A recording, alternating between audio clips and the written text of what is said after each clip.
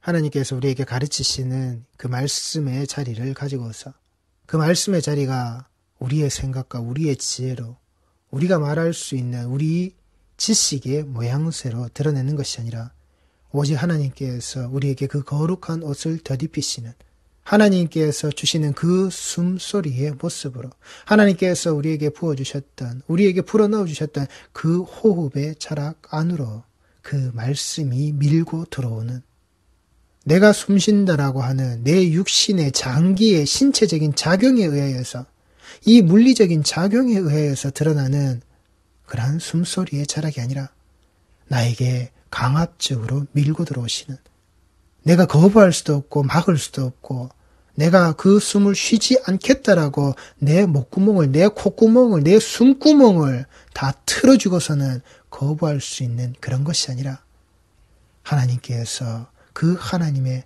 창조주의 능력으로, 창조주의 손길로, 창조주의 호흡으로 나에게 그 생명을 가지시고 밀고 들어오시는 그 말씀의 자리. 그것으로 내가 지혜 있는 자. 그것으로 내 지혜 있음의 모습 아래 내가 그 거룩한 옷을 입은 자. 예수 그리스도의 그 피 묻은 복음의 모습을 가지고서 피 묻은 복음의 철학으로 내가 들어가서 그 피 묻은 복음의 옷을 입고 나온 예수와 함께 산자되어져 있는 그리스도와 내가 하나의 옷을 함께 입고 있는 내 주 예수 그리스도와 그 합하여 진자의 모습으로 내가 살아나가는 내가 예수와 함께 살고 예수와 함께 죽겠습니다. 내가 예수와 함께 죽은 자의 모습이오니 내가 그 예수와 함께 다시 산 자의 모습으로 내가 내 아버지께로 그 예수와 함께 동행하여서 돌아가겠습니다. 내 아버지의 집으로.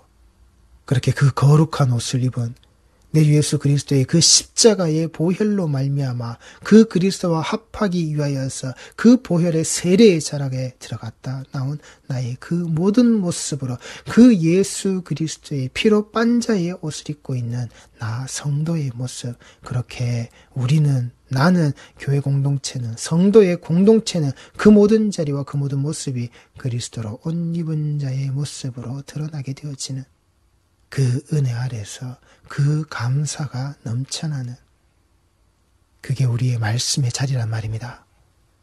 그게 우리가 말씀을 가지고 있어야 하는 자리란 말입니다. 그런데 우리가 그 말씀의 자리를 그 소중하고 그 귀한 말씀의 자리를 그 하나님이 우리에게 불어넣어 주시는 그 숨자락의 자리를 우리들이 너무 쉽게 생각하죠. 이 모든 자들이 그 기록되어져 있는 성경의 그 말씀의 구절들을 내가 항상 내 옆에 두다 보니까 언제든지 내가 손을 펼치고 언제든지 내가 꺼내 보려고 내 마음만 먹으면은 내 곁에 있다 보니까 너무나도 쉽게 생각하죠. 하나님께서 우리에게 주신 그 말씀의 자리를 하나님께서 우리에게 허락하신 그 말씀의 그 예배의 자리를 아무나 아무렇게나 너무 쉽게 들어오니까 너무 간단하게 들어오니까 하나님께서 내게 주신 그 모든 것들을 너무 쉽게 여긴단 말입니다. 오늘 잠언 1장 2절에 나와 있는 그 지혜와 함께 드러나는 이 훈계라고 하는 그 말, 이 단어, 이 훈계라고 사용되어져 있는 히브리어 무사르라는 말에는 저희 한글 성경에서 번역되어져 있듯이 훈계라는 의미도 들어져 있습니다. 그런데 이 속에 들어져 있는 이 무사르라는 단어의 본디에 가장 근본되어져 있는 뜻은 징계라는 겁니다. 경고, 책망과 더불어서 거기에서 비롯되어지는 교훈의 모습이라는 겁니다. 저희 국어사전적 의미로 이 교훈이라는 말은 잘못하지 않도록 타이르고 주의시킨다. 이 타이르고 주의시키는 모습이 강조되어져 있습니다. 그런데 이 히브리어 무사르의 모습은 그 훈계가 되어지는 그래 이게 네가 알아야 되고 너에게 다일르고 그렇게 주의를 시키고 그 가르치는 모습이 들어져 있는 여기에 근본 되어져 있는 모습이 징계라는 겁니다. 하나님이 왜 징계하시죠? 하나님이 사생자를 만드시지 않기 위하여서 너는 내 아들이다. 내 아들이다. 아들의 모습이다. 다윗의 아들. 이 말씀을 가지고 있고 이 말씀을 전해야 돼. 이 말씀이 그 삶 속에 고스란히 들어가야 돼. 내 사랑하는 자의 모습으로 들어져 있는 너는 내 아들이다. 내 아들의 모습을 그 사생자의 모습으로 두지 않기 위하여서 하나님께서는 그 지혜라고 하는 하나님께서 밀어 넣어 주시는 그 숨자락 안에 사는 자의 모습과 함께 절대 내가 너를 너 홀로 두지 않고 네가 잘못되는 모습으로 네가 그릇되어지는 모습으로 나는 가만두지 않 않겠다의 모습으로 그 징계가 들어져 있는 너의 그 징계의 자락 아래에서 알라는 겁니다. 너에게 불어넣어주는 그 숨자락에 그 지혜요 그 말씀의 자락으로 들어가는 그 모습에서 네가 알라라고 그 거룩한 옷을 입는 자의 모습으로 네가 알라라고 그리고 내 아들이 되어져 있는 자의 모습으로 네가 그릇되고 잘못되어졌을 때 내가 너를 그냥 홀로 내버려 두거나 너를 방치하지 않고 반드시 너에게 그 징계를 가하는 그 모습으로 너는 알라라고 내가 너에게 매질을 하고 내가 너에게 그 그릇된 방향에서 돌려 세울 때에 너에게 벌어지는 그 감당하기 어려운 바로 그 모습 속에서 네가 처절하게 그 나락으로 떨어지는 그 삼자락 아래서도 그 징계의 자락 아래서 아버지가 그 하나님께서 내 아버지 되심을 네가 똑바로 알라라고 주시는. 그래서 여기서 저희 한글 성경에서 이 훈계라고 쓰여지는 이 모습이 조금 더 의미를 강하게 넣어서 본디의 의미로 돌아가서 지혜와 함께 우리가 받아야 될 그 징계의 자락 아래서 하나님을 온전히 알게 되는 징계라는 표현이 때로는 거부감이 들고 듣기 싫을 수도 있습니다. 왜 우리가 벌을 받아야 되지? 왜 우리가 혼나야 하지? 이런 거부감, 그런 반항심이 생길 수도 있을 겁니다. 그러나 이것이 하나님의 아들 되어져 있는 하나님의 언약 백성이 되어져 있고 하나님의 성도 되어져 있는 자에게 하나님이 응당 치르시고 응당 그들이 그 삶 속에서 우리가 받아야 돼. 내 삶 속에서 하나님을 알게 되어지는 우리의 경험의 모습으로 알게 되어지는 바로 그 하나님의 드러나심의 모습이라면 우리는 이 징계도 마땅히 받아야 하는 거란 말입니다. 하나님이 나와 함께 하심의 모습이 이 징계 안에 들어져 있다면은 제발 말씀을 들으실 때에 내 귀에 듣기 좋고 내가 말하기 좋은 것으로서 말하고 듣고 씹고 뜯고 즐기는 그런 신앙생활로 하지 마시라고요. 내 귀에 듣기 좋은 것만으로서 노래 불러주기 위해서 기록된 게 말씀이 아니란 말입니다. 내 주 예수 그리스도의 그 피 뿌리신 복음의 자락들이 그렇게 들어져 있는 거 아니란 말입니다. 나를 무참히 깨실 때는 부셔버리시고 나를 세우고 인도하시고 그 사랑 안에 품으실 때는 한없는 그 사랑의 모습으로 나를 품으시는 이게 그 말씀 속에 들어져 있는 우리가 받아야 될 그 은혜란 말입니다. 하나님이 우리에게 강권적으로 역사하시는 그런데도 불구하고 내가 좋아하는 것, 그저 부자 되고 잘 살게 해주시고 성공하게 해주시고 내 기도는 다 들어주신다고 하고 내게 능력을 주셔서 모든 것들이 다 해결되어지게끔 그 도깨비 방망이를 전가의 보도로 휘두를 수 있는 그따위 신앙의 모습만을 그래 가져라 그래 가져라 그래 가져라 이루어 주신다 들어 주신다 그런 것만을 들으려고 하시지 말란 말입니다. 그리고 그 속에는 반드시 예수 그리스도의 십자가가 드러나야 함에도 불구하고 예수 그리스도의 십자가는 무엇을요? 내가 부정하고 오히려 예수님 그 십자가에서 죽으시면 안 돼요. 나와 함께 내 곁에서 천년 만년 함께 사셔야 해요. 십자가에 오르시는 것이 아니라 나도 그 십자가에 따라 오르는 것이 아니라 예수님 나하고 같이 그렇게 사셔야 돼요. 이런 신앙의 행태로 가시면 안 된다고요. 그게 하나님의 일을 생각지 아니하고 사람의 일, 그 사단의 일, 마귀의 일을 생각하는 저주받은 자의 삶이란 말입니다. 신명기 11장 1절 말씀입니다. 그런즉 네 하나님 여호와를 사랑하여 그가 주신 책무와 법도와 규례와 명령을 항상 지키라. 너희의 자녀는 알지도 못하고 보지도 못하였으나 너희가 오늘날 기억할 것은 너희의 하나님 여호와의 교훈과 그의 위엄과 그의 강한 손과 표신 팔과 여기 2절 말씀에 너희 자녀는 알지도 못하고 보지도 못하였으나 너희가 오늘날 기억할 것은 이라고 하는 이 말은 너희 자녀가 기억할 것이 아니라 바로 네가 기억해야 된다는 겁니다. 이 말씀을 듣고 있는 바로 너, 그리고 이 말씀이 계속해서 진행되어져 나왔던 하나님께서 이 말씀 가지고서 너희들의 그 삶 속에서 너희들이 출애굽의 여정 속에서 그리고 그 광야의 여정 속에서 너희가 경험하고 체험했던 그 모든 자락에서 있었던 그 일들, 그 모든 것들을 네가 똑바로 알라라고 그리고 그곳에서 네가 체험되어졌던 그 모든 것들을 네가 그릇되게 생각하거나 그릇되게 보지 말고 네 자녀들 앞으로 있는 그 후대의 그 자녀들에게 똑바로 전해야 하는 것인데 그러하기에 네가 그 모든 똑바로 전해지는 모든 것을 감당하기 위해서는 내가 지금 하고 있는 이 말이 그때 태어날 후대에 태어날 그 자녀의 모습이 아니라 바로 이 모든 것들이 벌어지고 감당되어지고 살아나왔다 바로 너 네가 들어야 될 그 말이다.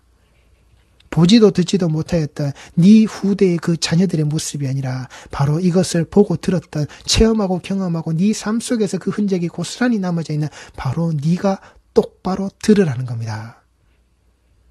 너희 자녀가 기억할 것이 아니라 바로 네가 기억해야 한다라고. 이게 우리가 가지고 있어야 될 저희들이 그 후대를 가르치는 저희 주일학교 교육의 근본 문제라는 겁니다. 인구가 줄고 있습니까? 아이들이 태어나지 않고 있습니까? 예, 한국 교회 안에 반드시 그 영향이 드러날 겁니다. 인구가 주니 당연히 믿는 자의 수도 줄 수밖에 없는 것이고 더욱이 그 청장년들 속에서 무엇을요 결혼하여서 자식을 낳는 자들의 모습 수가 그 빈도가 점점 줄고 있으니 당연히 교회 안에 이 아이들의 모습이 줄어들 수밖에 없을 겁니다. 그러면 주일학교가 사라져야 하는가요? 단 한 명이라도 거기에 있으면 그 단 한 명을 위하여서라도 가르쳐야죠. 단 한 명이라도 그 교회 안에 그 주일학교에 해당 사항이 있는 자가 있으면 그가 그 모든 교육의 가르침을 다 받을 때까지 교회는 그 임무를 그 역할을 감당해야죠. 그런데 인원이 작으니까 수가 적으니까 여기에서 인간들이 가지고 있는 그릇된 모습이 또 똑같이 드러나는 겁니다. 수의 모습, 규모의 모습, 어느 정도가 적정선이 유지되어져야 되는 하나님의 이 말씀의 자락 아래 그리스도의 그 십자가의 피 묻은 복음의 모습으로 가르치고 양육됨의 자리에 무슨 적정한 인원수가 있느냐는 말입니다. 한 명이 있다 할지라도 열 명의 교사가 붙어서라도 가르쳐야죠. 그 한 명을 가르치는 데 있어서 열 명, 스무 명의 공간이 필요하다 그러면 그 한 명을 위하여서 얼마든지 교회는 그걸 만들어내야죠. 그 시간과 그 물적, 그 공간적 어떤 것이 되었던 교회는 만들어내야죠. 그리고 그 심령을 가르쳐야죠. 그 어린 자를 가르쳐야죠. 네가 먼저 보고 들은 것들, 네가 기억하고 네 삶 속에서 네가 드러내야 될 것들. 그런데 교회에서 주일학교가 사라진다고요. 벌써 그 주일학교의 문을 닫았다고요. 그 주일학교가 사라지고 그 주일학교의 문을 닫은 교회의 모습 아래 단 한 명도 아이가 없답니까? 단 한 명도 거기에서 그 어린 자의 모습이 드러나지 않는단 말입니까? 바로 그렇게 되어져 있는 교회, 그 교회에 있는 모든 소속되어져 있는 자들이 그들 스스로 기억하고 있는 모습, 그 말씀 속에 기억되고 그 말씀을 체험하여서 그들이 살아가 있는 모양새가 바로 그렇게 문 닫은 자들의 모습이라고요. 그들의 그 신앙의 자락이 바로 그 문 닫은 자의 모습이라고요. 하나님의 말씀을 가르치고 하나님의 어린 양들이 양육되어지는 그 자리를 문 닫은 자, 그들이 기억하고 있는 그 하나님, 그 말씀, 그들의 그 예배의 자리가 바로 그런 자리라고요.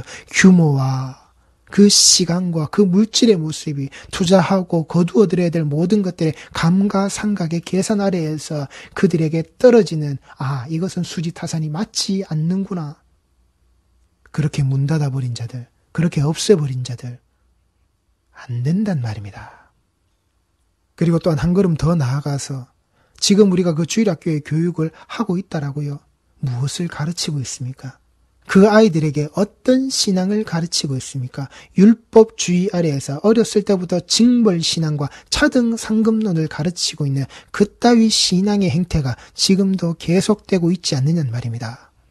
그 번영의 자락으로 나아갈 수 있도록 아이들에게 달란트를 주고 그게 상급이라고 네가 교회 안에서 어떤 일을 했을 때 무엇인가를 했을 때 거기에 지급받게 되어지는 그 달란트의 모습이라고 잘못된 거라고요. 시장 경제의 논리를 가지고서 네가 교회 안에서 받을 수 있는 상급의 모습으로 그리고 그것이 상급을 받지 못하는 자들에게는 징벌이 되어져 있는 그 안에 그 속에 그 공동체에 동참하고 그 시간과 공간에 자라가려서 배척되어지는 자의 모습으로 드러나는 네가 하지 않았기 때문에 너는 그 일을 하지 않았기 때문에 너에게서는 그 상급이 없기 때문에 너는 이 자리에 이 모습에 낄 수 없는 자로 그렇게 주일학교 교육이 되어져 가고 있는.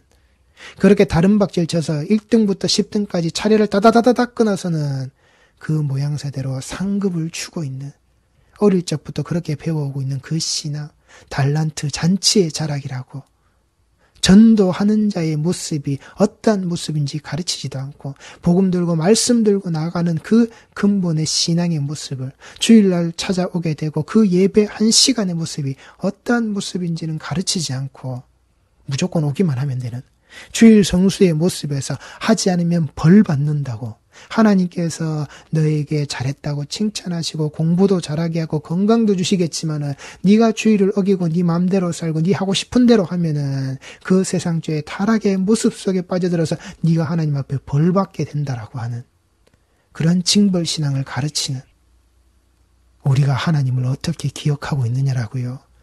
내가 만난 그 하나님, 우리와 함께 하신 그 하나님, 내가 먼저 배웠던 그 말씀 속에 우리는 무엇을 하나님으로, 무엇을 내 주 예수 그리스도의 피 묻은 그 십자가의 복음으로 기억하고 있느냐는 말입니다.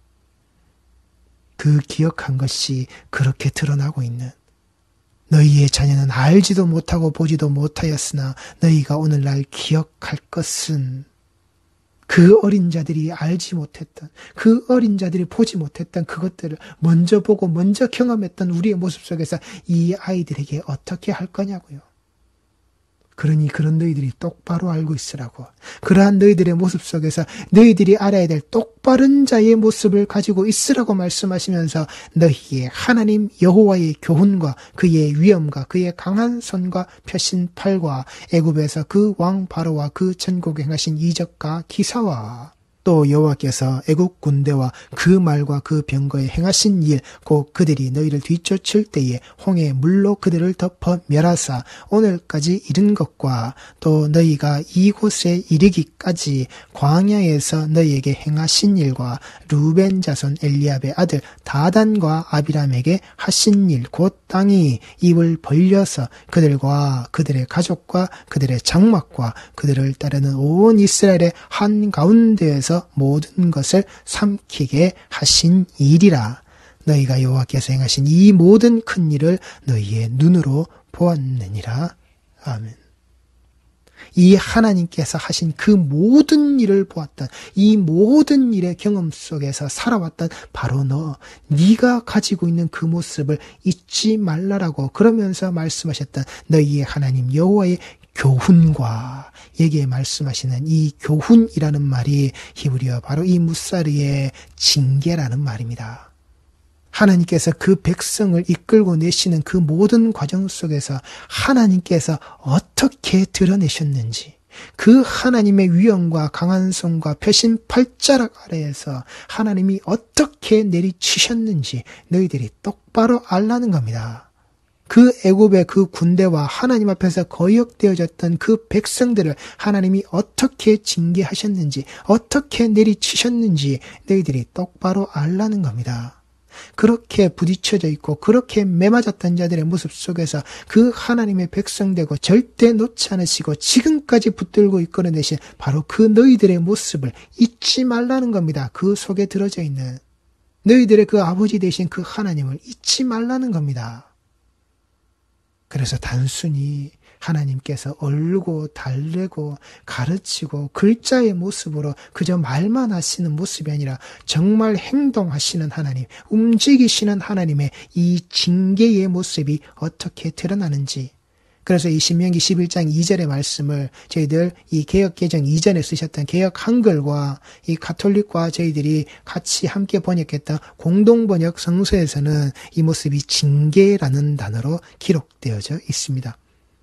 그리고 NASB 등의 영어 성경에서도 이 단어를 징계로 번역하여서 사용하고 있습니다.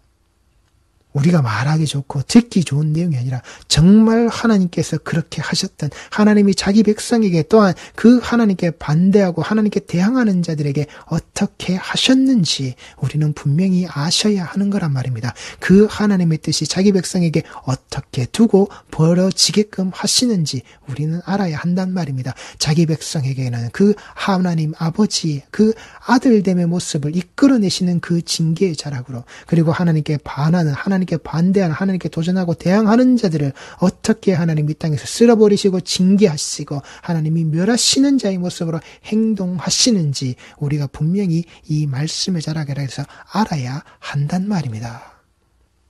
이 히브리어 무사르의 어근이 되어지는 야사르라는 단어의 본디 뜻도 마찬가지로 그 징계하다, 질책하다, 묵다, 아프다의 모습의 의미를 가지고 있습니다. 저희가 앞서 이 말씀 다 찾아봤습니다. 레위기 26장 18절 말씀입니다. 또 만일 너희가 그렇게까지 되어도 내게 청종하지 아니하면 너희의 죄로 말미암아 내가 너희를 일곱 배나 더 징벌하리라.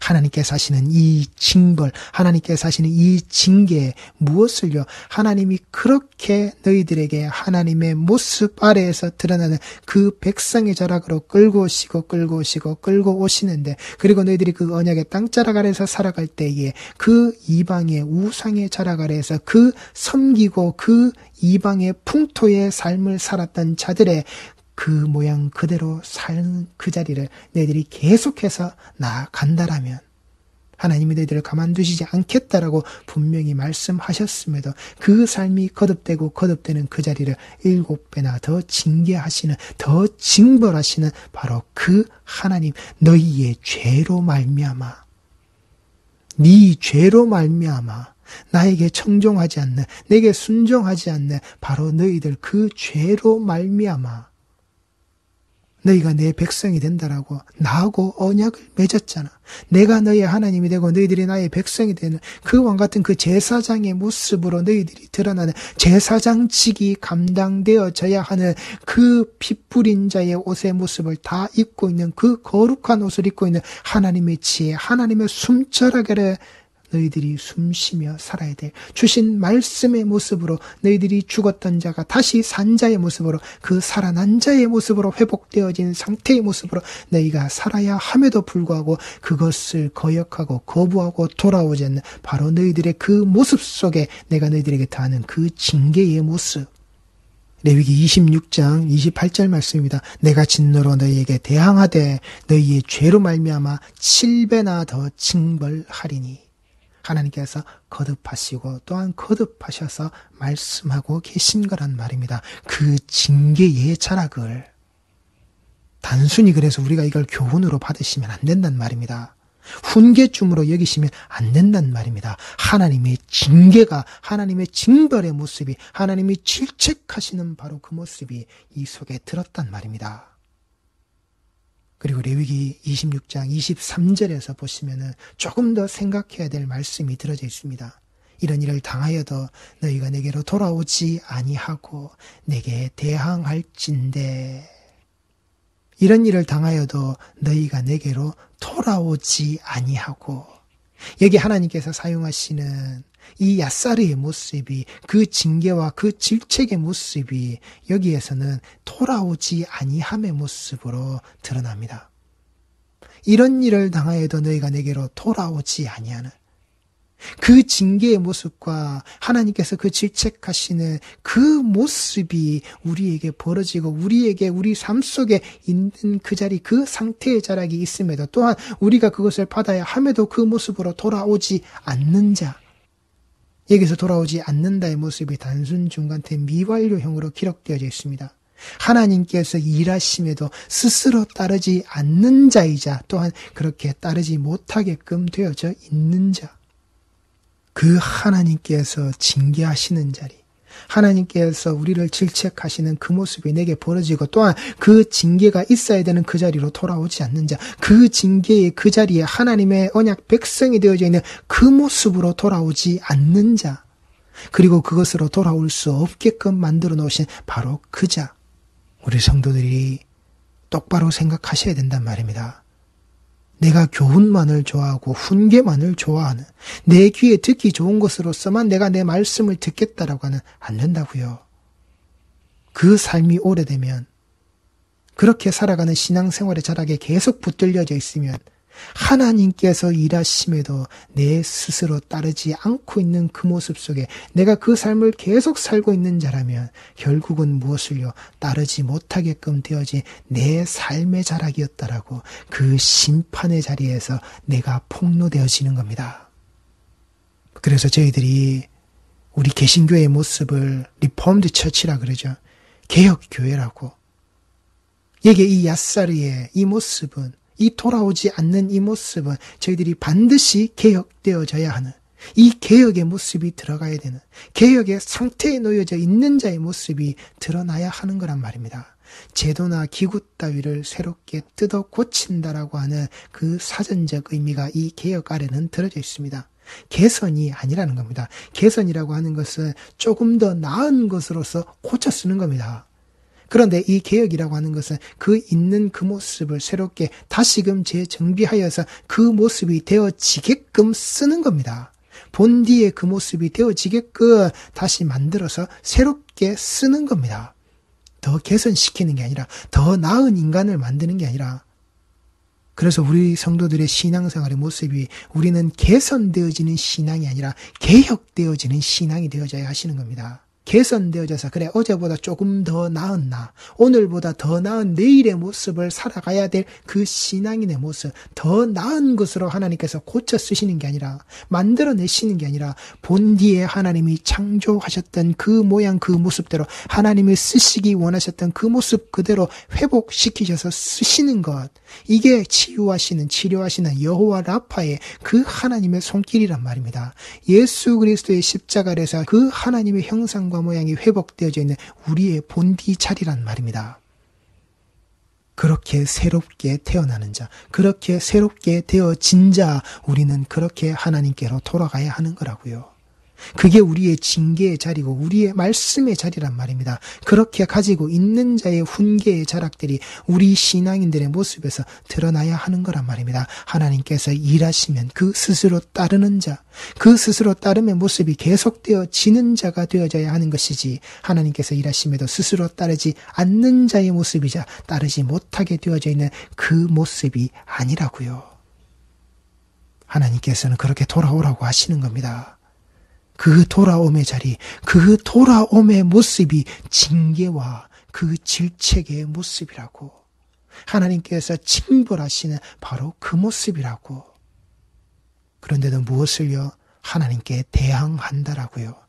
하나님께 대항한다라고 하는 이 히브리어 켈이라는 말은 반대하다라는 겁니다. 하나님과 그 정반대편, 하나님과 대립하여져서 내가 그 등으로 맞서고서는 하나님께 돌아서지 않는 것. 하나님께서는 그렇게 원하시는데, 하나님께서는 돌아오기를 원하시는데, 나는 거기에 반대하는 자, 하나님은 무너뜨리시고 하나님은 황폐하게 만드실지라도 나는 다시 쌓겠다라고 하는 그 하나님의 의지에 반대하는 자, 하나님의 구속사, 하나님의 역사하심에 반대하는 자.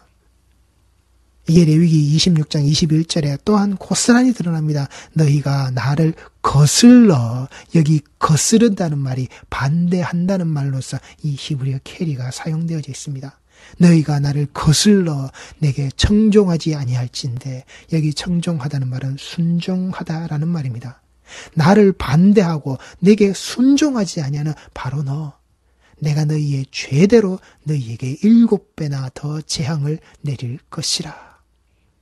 이 레위기 26장에 이 몇 구절의 말씀 안에서 하나님이 거듭하고 지금 계속해서 이스라엘 백성들에게 그 언약 백성 자기 백성이 되어진 자들에게 계속해서 무슨 말씀을 하고 계시느냐 말입니다. 우리 성도들이 들으시라고요. 내가 이 모습은 아닌지 내가 바로 이 재앙을, 이 징벌을 더 받는 자의 모습은 아닌지, 너희의 죄대로, 나의 죄대로 내가 일곱 배나 더 재앙을 받는 자는 아닌지, 받고 있는 자는 아닌지, 그게 무엇을요? 하나님께서 일하심에도 스스로 따르지 않는 자이자, 그 따르지 못하게끔 되어져 있는 내 모습이 아닌지, 내 귀에 듣기 좋은 대로, 내가 말하기 좋은 대로, 사람들에게 유혹하고, 사람들에게 꼬시고, 사람들에게 내 모습이 칭찬받는 것 같이 사람들에게 내 모습이 잘 드러나는 것 같이 포장되어지는 그런 것들만 내가 말씀 속에서 원하고 취사 선택을 하고 있는 내 모습이 아닌지 똑바로 보시란 말입니다. 성도는 그렇게 되면 안 된다고요. 이 하나님께 반대하는 이 하나님께 대립하는 이 하나님과 그 반대 방향 반대편의 자락으로 서 있는 이 캐리의 어건인 히브리어 카라라는 말은 본디 뜻이 생기게 하고 지정하다 놓다라는 의미로서 이 단어가 어디에 처음 사용되시느냐? 창세기 24장 12절 말씀입니다. 그가 이르되 우리 주인 아브라함의 하나님 여호와여 원하건대 오늘 나에게 순조롭게 만나게 하사 내 주인 아브라함에게 은혜를 베푸시옵소서. 지금 이 사건이 어떤 사건이었습니까? 아브라함이 그 엘리에셀로 추정되어지는 그 종, 그 종에게 네가 가서 내 아들 그 이삭의 아내 되어 질자를 찾아서 데리고 오라라고 하는 그 사명을 그에게 주어서 떠나보냈을 때 그 엘리에셀이 그 물가에서 기도하고 하나님께 구하는 겁니다. 오늘 나에게 순조롭게 만나게 하사. 여기에 순조롭다는 말이 바로 이 캐리에 어근되어지는 히브리어 카라의 의미로 사용되어진 모습입니다. 하나님과 반대하는 자가 아니라 하나님께서 내게 허락하고 주시는 것, 내 주인 아브라함에게 은혜를 베푸시는 그 모습이 내게 지금 이 자리에서 그 아들의 아내를 구하는 모습이 순조롭게 되어지도록 하나님이시여 내가 원하오니 그 일이 순조롭게 하나님의 은혜 안에서 아브라함에게 베풀어 주시는 그 은혜 안에서 이 일이 순조롭게 일어나게 하여 주옵소서. 아버지의 뜻대로, 아버지의 모습대로, 아버지의 원하심대로 이 일이 순조롭게, 이 일이 생기고 이 일이 벌어지게 하시옵소서 하나님에게 대항하고 반대하는 자의 모습이 아니란 말입니다. 이 순종이 하나님 앞에서 내게 순조롭게 되어져야 될 하나님의 이끌고 가심의 모습대로 되어지지 못하게끔 하는 바로 그 모습, 그 반대하게 하는 자. 이게 종이 한 장 차이란 말입니다. 똑같은 어근을 두고 있고 그 의미를 사용하면서도 무엇을요? 본디의 뜻은 순종의 모습이었는데 하나님께서 버리시고 하나님께서 생기게 하시는 그 모습 그대로 그 은혜 안에서 벌어지는 일들을 인간이 무엇을요? 그걸 반대하는 그것을 대항하는 인간의 모습이 들어가서 하나님께 대항하는 그래서 은혜의 자락이 아니라 징벌의 자락으로 하나님 앞에서 받게 되는 그 재앙의 자리가 되어지는 우리 성도들이 지금 계신 말씀의 자리가 어떠한 자리인지 그 지혜로 가지고 있어야 돼. 그리고 내가 그 징벌의 자락으로 내가 그 하나님이 내게 경험하고 내게 알게 하시는 그 모습이 어떤 것으로 드러난 것인지 우리 성도들이 잘 아셔야 한단 말입니다. 그리고 내가 그 하나님이 내게 주시는 징벌을 두려워하지 마시고 절대 우리가 두려워해야 될 것은 절대 우리가 금해야 될 것은 하나님이 내게 치시는 그 아들됨의 모습으로 바로 되게 하시는 징벌이 아니라 내가 하나님께 반대하고 도전하고 내가 하나님 앞에 대립한 자의 모습으로 그 재앙을 받게 되는 그 징벌을 받게 되는 그 모습을 유의하시라고요. 이걸 기억하란 말입니다.